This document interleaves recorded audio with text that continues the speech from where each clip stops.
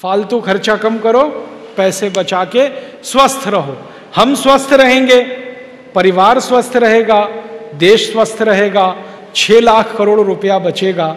और मैंने सवेरे से शाम तक का हिसाब बताया, चाय, कॉफ़ी बंद करें, टूथपेस्ट बंद करें, साबुन वगैरह विदेशी ना लगाएँ तो इसमें दो लाख बत्तीस हज़ार करोड़ का खर्च बचता है।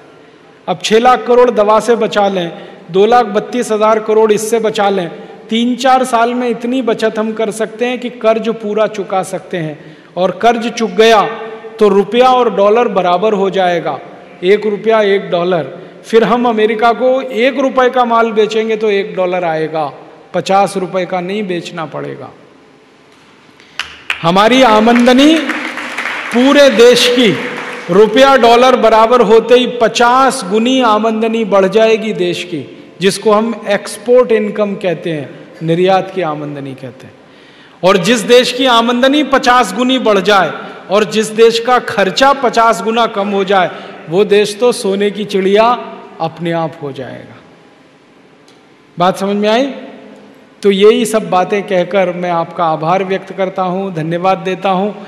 आपने इतना सब धीरज और शांति से सुना। अगर ये बातें आप दूसरों को सुनाएँगे तो और भी आभारी रहूँगा। एक चलते चलते